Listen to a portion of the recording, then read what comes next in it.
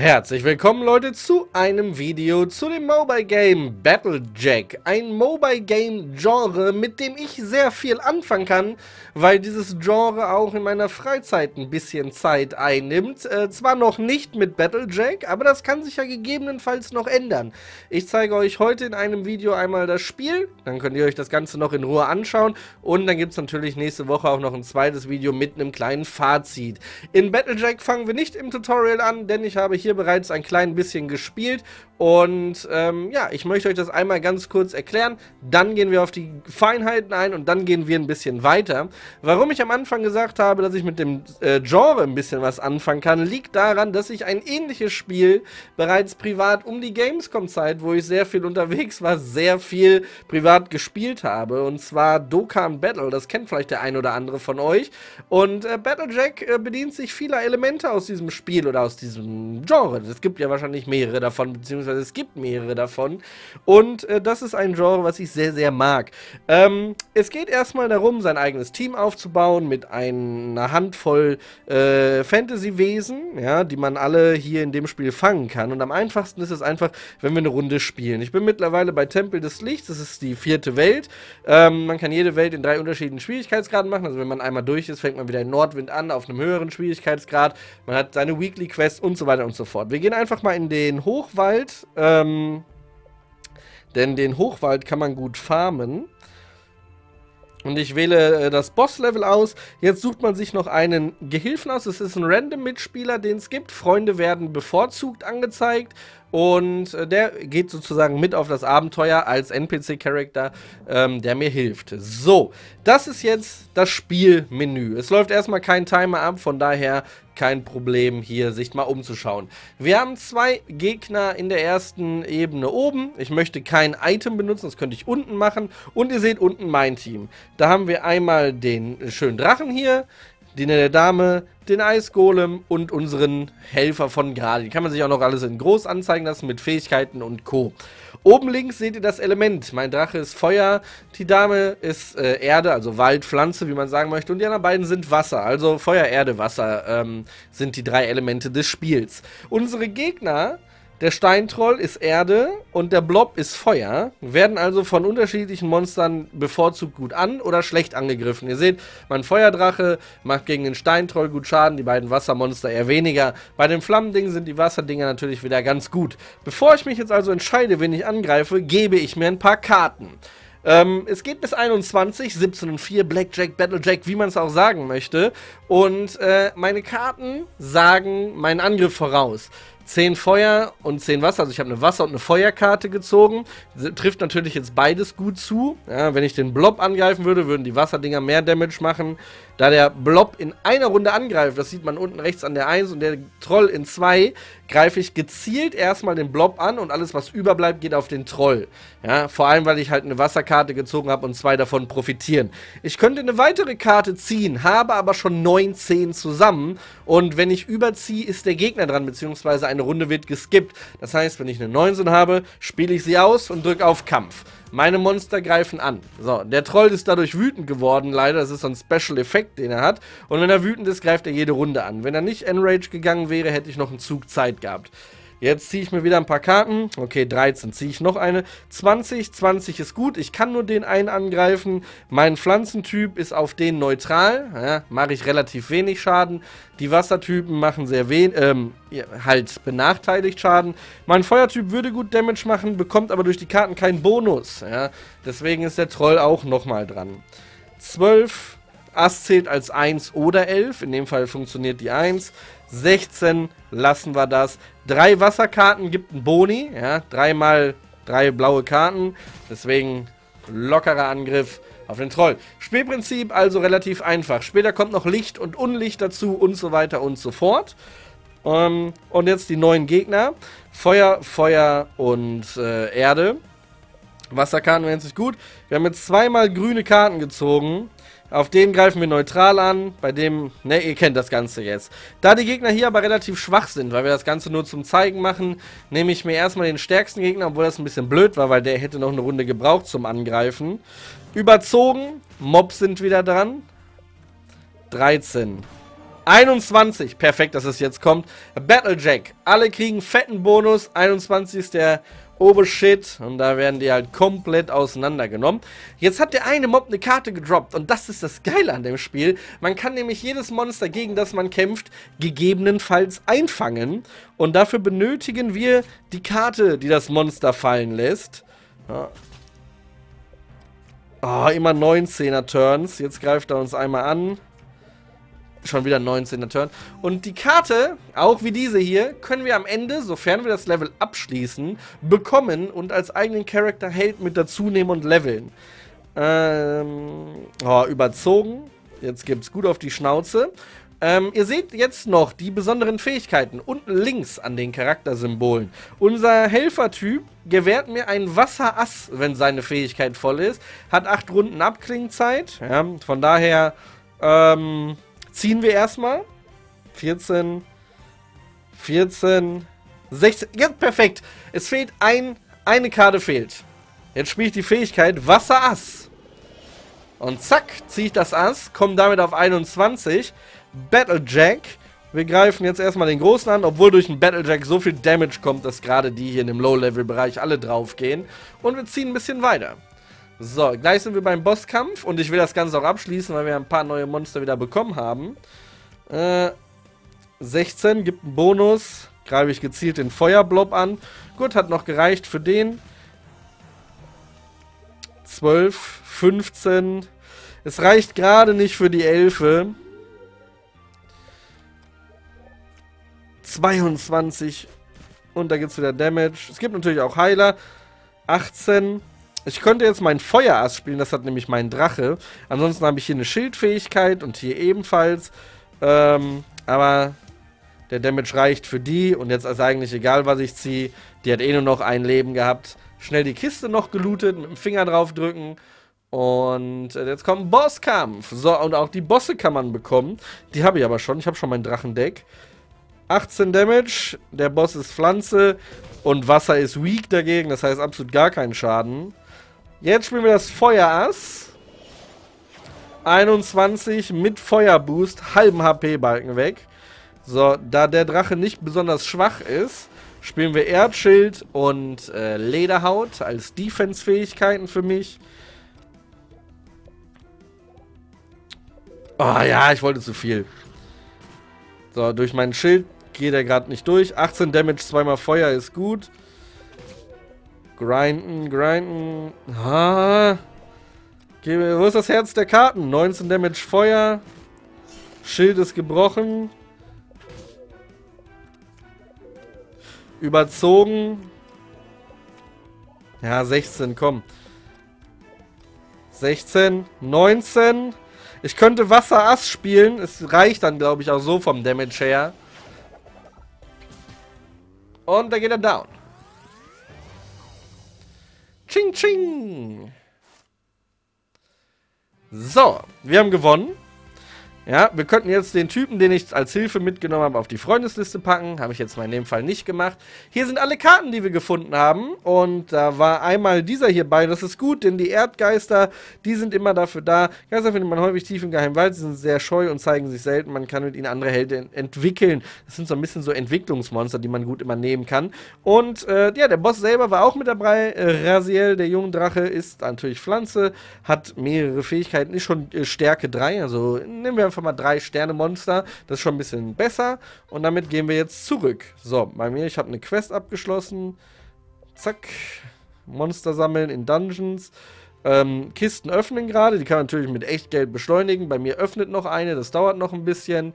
Äh, man kann vier Stück insgesamt auf Tasche haben, ansonsten kriegt man erstmal keine neuen. Das ist unser Heldendeck. Ich kann mal die Gruppe ändern und nehme mal alle raus. Jetzt sind wir hier unten alle Karten, die ich bereits habe. Ich habe schon äh, ein paar Level 19er Monster. Diesen schönen Golem hier, äh, den habe ich aus einer Case gezogen. Warte, ich mach mal hier erstmal nehmen wir mal irgendeinen kurz, kann man sich den besser anschauen. Der Schnee Goliath Tiny, den habe ich aus einer Kiste bekommen, die ich gratis öffnen konnte. Der braucht, der ist 4-Sterne-Monster, das ist ziemlich gut, der hat auch einen Mörderangriff. Der braucht aber eine Gruppengröße von 10, das heißt, er benötigt 10 Slots in meinem Team. Je mehr Sterne und je stärker das Monster, desto mehr Slots im Team belegt er. Ich kann momentan 17 mitnehmen. Wenn ich alleine den hier schon reinpacke, ist 10 da schon, von, äh, schon weg davon, ja. Das heißt, ich könnte maximal mein Team so aufbauen. Jetzt hätte ich alles einmal dabei. Feuer, Wasser, Erde. Kein äh, Licht, kein Unlicht. Ja. Ähm, aber das Team ist erstmal voll. Das kann sich natürlich später noch ändern. Hat momentan eine Stärke von 740. Ja. Nehme ich aber erstmal raus. Ähm, ich pack... Wen hatte ich gerade eigentlich dabei? Feuerdrache hatte ich als Main. Dann kam ich dazu. War Tiny dann dabei? War das mein Team? Ich glaube schon, oder? Ich glaube, Tiny war sowieso schon mit drin. Ja, Tiny war schon mit drin. Das ist sogar mein Team gewesen. Ähm, ich nehme jetzt mal hier kurz. Ich habe sonst noch hier ein Element Licht, also ein Lichtcharakter. Äh, ist gegen Dunkelheit gut, also ne, Feuer gegen Pflanze, Pflanze gegen Wasser, Wasser gegen Feuer, Licht gegen Unlicht und so weiter und so fort. Ähm, die habe ich erstmal behalten. Und ähm, ja, jetzt könnte ich die noch leveln. Momentan sehr schwach ist ja mein Feuerdrache. Jetzt könnte ich andere Monster da reinpumpen, die, die ich zum Beispiel nicht mehr brauche. Nehme ich mal die. Ja, komm, kriegst du den und den noch. Und das kostet natürlich Geld. Das ist auch alles gar nicht so günstig. Packe erstmal die drei mit rein. Kommt in die Fusion. Dadurch wird mein Jungdrache ein bisschen stärker. Ja, Level 10 war eigentlich mein Ziel gewesen, damit ich Tiny halt noch pushen kann. Ähm... Die anderen, die ihr da seht, die wollte ich eigentlich behalten. Ich könnte theoretisch den Drachen noch in Tiny packen. Äh, oh, hier habe ich einen Drachen doppelt. Nehme ich den auf jeden Fall. Ja, Level 11. So, jetzt kann ich Tiny nochmal boosten. 3000 Gold habe ich noch. Da kommen die Trolle eben rein. Und äh, ja, die Drachen behalte ich einfach mal. Ich hatte auch mal mein Drachendeck. Feuerdrache, Walddrache und Wasserdrache. Die hatte ich alle mal in einem gehabt. Das ist ganz cool. Die anderen sind zum Entwickeln da, die beiden Waldgeister. Und ja, die eine Fee hier fand ich eigentlich ganz cool. Die kann aber jetzt eigentlich mal weg. Und damit wird Tiny jetzt gepusht. Ja, ist Tiny wenigstens Level 9 geworden. Ja. Später mit Schriftrollen kann man auch noch andere Fähigkeiten in, erlernen. Die bekommt man aus Kisten. Ich glaube, ich kann sogar noch welche gratis öffnen. Ähm, das Spiel könnt ihr übrigens auf Android und iOS spielen und ihr findet den Link unten in der Videobeschreibung. Die Gilde Trouble Town ist momentan einfach auf öffentlich. Die habe ich einfach aufgemacht, weil ich es gerade konnte, weil man dadurch nämlich auch was bekommen kann durch Gildensinger. Ähm, ich habe sie einfach auf Public gemacht. Tretet einfach bei. Lustigerweise sind schon zwei Leute drin. Und ähm, ja, wenn ihr Bock habt, spielt einfach ein bisschen mit. Ähm, das ist halt so ein Spiel, was man schön nebenbei spielen kann. Ihr habt gerade übrigens automatisches Kämpfen gesehen im Kampf. Das geht nur bei Leveln, die man bereits geschafft hat, wenn man noch irgendwas nachfarmen muss oder noch ein gezieltes Monster haben will. Ich habe mir jetzt extra aufgehoben, obwohl ich da nie abwarten kann. Ähm, ich habe zwei seltene Belohnungen bekommen, dass ich gratis eine Kiste öffnen kann. Und das machen wir jetzt einmal zusammen. Jetzt habe ich eine gratis Case benutzt und jetzt kriegen wir ein Monster. Ah, und ich hoffe, wir kriegen ein gutes. Dunkellichtritterin Lilith, drei Sterne Monster, Unlicht. Das ist ziemlich nice. Die ist cool. Und ich zeige euch gleich noch den Pokédex sozusagen, was es alles gibt. Machen wir noch die zweite auf. Drei Sterne. Tiny hat vier. Ja, trotzdem schon mal ganz nice. Nächste Kiste. Oh, was ist das? Oh, das sieht gut aus, oder? Holy shit! Legendär Krieger Vlad. Ja, Vladi! Oh, der, der muss bestimmt mega viel abziehen. Ähm, Element Wasser, ja, ist klar. Ein 5-Sterne-Monster, Gruppengröße 12. Vladi, ey. Awesome. Okay, cool. Packen wir das erstmal ein. Dann haben wir noch Ehrenkarten. Davon kann ich drei Stück eben holen. Die sind gut zum Buffen und zum Entwickeln. Ja. Oder zum Verkaufen gegebenenfalls. Oh, alter Nachtmar. Ja, gucken wir uns die gleich auch mal an. So, jetzt kann man hier natürlich sonst weiter für Echtgeld kaufen. Ich habe kein Echtgeld bis dato ausgegeben. Das waren alles Sachen, die ich ingame freigeschalten habe. Und ja, zum Entwickeln fehlt mir natürlich jetzt Geld. Da muss man immer ein bisschen aufpassen. Zur Not kann man auch Monster verkaufen. Aber ihr seht schon, ähm, ich habe schon einige Monster und ich war schon so blöd und habe mehr Monster gelevelt, als ich eigentlich haben wollte. Ich dachte mir, oh Gott, ich habe alle drei Drachen zusammengefarmt, mache ich da, habe da viel reingesteckt. Das war alles blöd. Man sollte sie erstmal auf die Monster eher spielen, die man gerne hätte. Ähm, schauen wir einfach mal. Krieger Vlad, Gruppengröße 12. Äh, hat als Fähigkeit erhöht LP von Wasserhelden um 80%. Holy shit, gute Wasserdeck könnte man da machen. Äh, Dunkelritter, äh, Dunkelritterin Lilith ähm, ist natürlich äh, Fähigkeit Finsternis, also ich nenne es Unlicht, ja, ist gegen Lichtmonster gut, die negieren sich da so ein klein bisschen. Ähm, der ist eigentlich auch nicht schlecht. Großen, Gruppengröße 5. Das ist eigentlich ziemlich awesome. Er leidet bei Angriffen, die nicht durchdringen sind, weniger Schaden. Hat keinen Erholungswert. Immun gegen Stille. Nahkampf. Äh, 21, also 21 Blackjack gewährt dunklen Helden eine Runde lang Angriff mal 2. Die ist auch ganz nice, aber was ist hier Nightmare? Nightmare ist auch Unlicht, ja. Ähm. Puh, ist auch nicht übel, ey. So ein Unlichtdeck. Ich brauche unbedingt Ingame Gold, damit ich weiter pushen kann. Diese Geister hier zum Beispiel, der ist mit einem Level 1 Max-Level, ja. Man sagt, dass die Glocke ein signifikantes Ereignis ist. Hiermit lassen sich andere Karten entwickeln. Das ist so eine Entwicklungskarte. Man kann später, wenn die Monster weit genug sind, hier zum Beispiel, könnte ich Adele könnte ich auf zwei Sterne pushen. Für 15.000 Gold, weil ich diesen äh, grünen Geist habe, den hier. Man braucht unterschiedliche Geister, um zum Beispiel zu pushen. Hier bräuchte ich noch den und den, dann wird er auf drei Sterne gepusht werden und so weiter und so fort. Deswegen versuche ich die ein bisschen zu behalten. Man kann aber nicht allzu viele mitnehmen. Ähm, ändern wir mal die Gruppe und gehen nochmal in den Kampf. Boah, wen nehme ich mit? Die sind alle Level 1 halt noch, ne? Wie wird das aussehen, das Deck? Ja, wäre schon voll. Ja, wär, mit den beiden wäre das schon voll, mit Lilith und Dingens. Und dann hätte ich, dann würden mir alle Feuerkarten und sowas nichts bringen.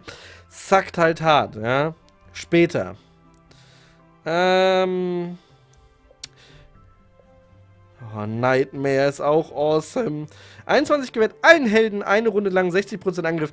Der ist sogar ganz geil, wenn ich den mit reinbekomme. Der hat Gruppengröße 3. Ja? Alleine wenn ich jetzt Feuerdrache, Tiny und mein habe ich keine Gruppengröße mehr. Nightmare müsste als vierter Charakter mit rein. Also im Optimalfall wäre es jetzt gerade so ein bisschen du vorne, dann du, dann du und dann Nightmare. Hätte ich sogar noch zwei verschenkt, aber so hätten alle was davon. Leider ist der Drache gerade nicht stark genug. Ja, und so funktioniert das halt. Wir packen mal Tiny mit rein, machen, schließen das erstmal so ab. Ja, und das war trotzdem ganz cool. Gehen nochmal in eine Mission. Kann ich mich eigentlich schon hier reinwagen oder bin ich noch. Ich habe 1014 Stärke gerade. Ich muss eh noch farmen und pushen. Ähm, deswegen nochmal zurück. Hier gibt es dann ein Einhorn und einen Adler. Es gibt immer noch so viele Monster. Äh, machen wir einmal den Wald-Endboss. Da kann man... Ja, der Wald-Endboss ist gut zu farmen. Äh, Wald, dann nehme ich einen Feuertypen mit als Gehilfen. Je mehr Feuerdamage, desto besser im Wald. Und jetzt haben wir gerade richtig hart reingelackt. Oh, falsch. Moment. Moment, bin ich im, bin ich im falschen Gebiet? Ich hoffe, ich habe es jetzt nicht verkackt. Aber Tiny räumt da gut auf. Oh, Alter, ich habe starkes Monster am Stissel. 20 in Feuer. Damit kann ich auch den wegsnipen. Diddle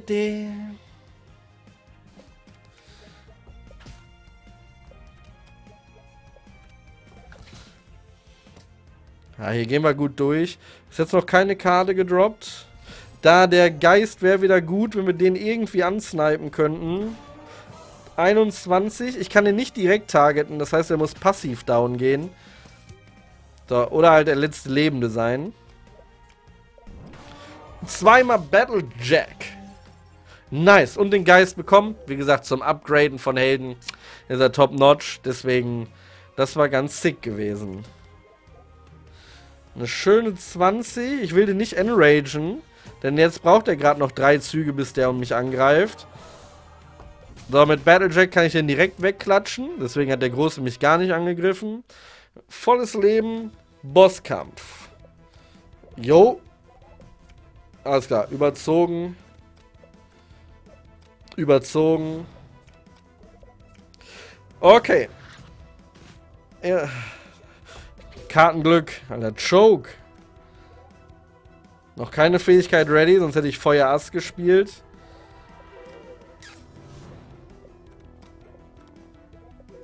Es gibt es nicht. Ja, okay. Zwei Feuermonster dabei mit einem Battlejack. Da hält auch der Boss in Level 2 nichts mehr aus. Puh, ja, und jetzt müsste ich leider meine Monster stärker machen. Die Gilde hat mich halt 20.000 Gold gekostet und damit könnte man eigentlich echt gut seine Monster pushen. Deswegen, da habe ich hart, da habe ich hart einstecken müssen, äh, was meinen eigenen Fortschritt angeht, leider. Ähm, was ich jetzt halt noch machen könnte, ich gehe ins Heldenmenü Und ich kann theoretisch verkaufen. Es gibt manchmal so einen goldenen Käfer. Das seht ihr hier, wenn man dann farmen muss. Äh, Story in den Wald rein.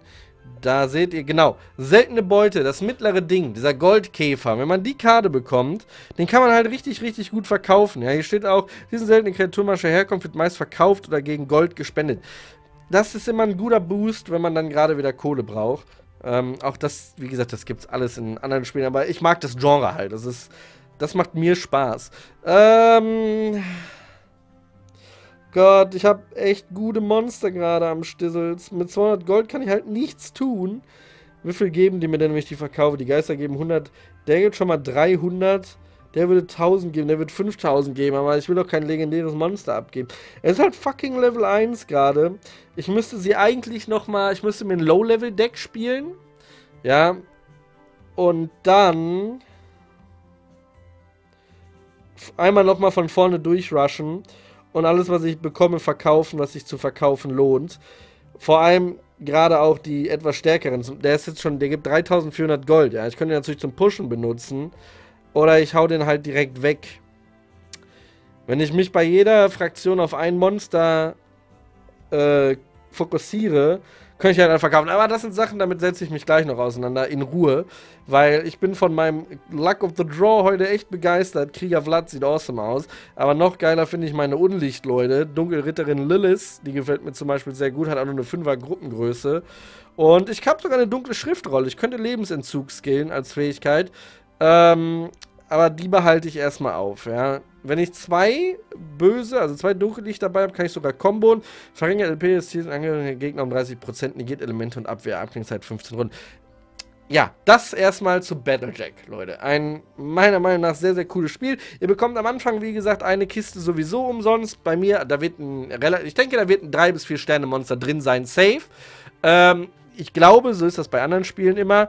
Und da habe ich den Schnee Goliath Tiny bekommen. Und ähm, ja, vielleicht, wenn ihr anfangen solltet, der Link ist unter der Videobeschreibung, schreibt mir doch mal, wen ihr gezogen habt. Und sofern noch Platz in der Gilde ist, Leute, Trouble Town. Ja, wie gesagt, ein paar Leute sind reingekommen. Die, der Mor Morgan der Morganen Olan und Alslick sind der Gilde beigetreten. Wie gesagt, es passen 30 Leute, glaube ich, rein. Äh, ich weiß gar nicht, ob die auch gerade noch spielen. Ah, guck mal, der hat auch äh, Schläger Vlad. Aber der hat den nicht in Legendär. Ich habe den in Legendary, glaube ich, gezogen. Und der war von der Stunde 40 online. Und da kann man halt immer so gucken, was sie machen. Der hat hier Anzahl der Karten, die der Gilde gespendet wurden. Der hat auch die, die haben die Gilde auch schon ein bisschen gepusht. Hab keine Ahnung, was man damit noch machen kann. Das werde ich noch rausfinden. Wie gesagt, es passen 30 Leute rein. Das wird natürlich relativ äh, voll, schnell voll werden. Vielleicht macht ihr noch Trouble Town 2. Dann kann ich vielleicht, was ist eine Fusion anfordern? Ich habe ein bisschen Angst.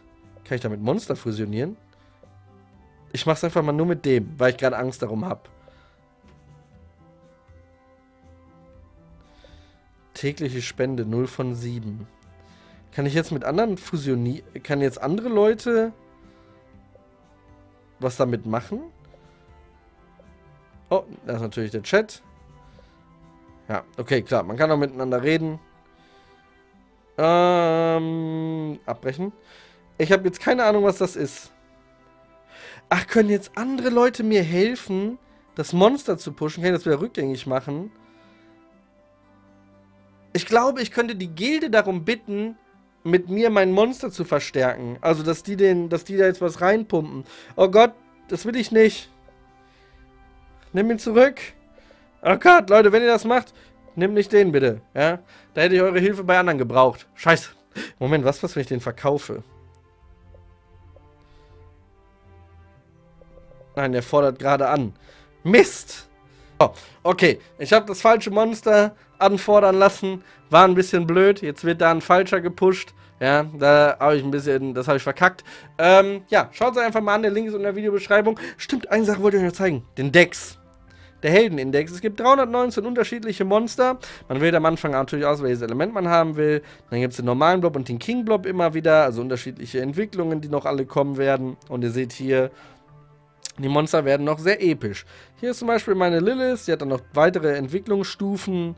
Da ist der Vlad mit vier Sternen, ja, der eine hatte ja gerade drei gehabt und so weiter und so fort. Hier unten sind dann die Drachen, diese Glückskatzen und was auch immer. Das ist ein relativ cooles Sammelding, finde ich ganz nice. Wie gesagt, das ist ein Genre, womit ich was anfangen kann. Ich werde es weiterspielen. Ihr werdet nächste Woche dann wahrscheinlich einen neuen Fortschritt sehen. Das mit der Gilde wurmt mich ein bisschen, aber gut, so ist das. Ich wünsche euch noch einen wunderschönen Tag. Wir sehen uns beim nächsten Mal wieder. Macht's gut, bis dahin, lasst ein Like da, bis dann, ciao.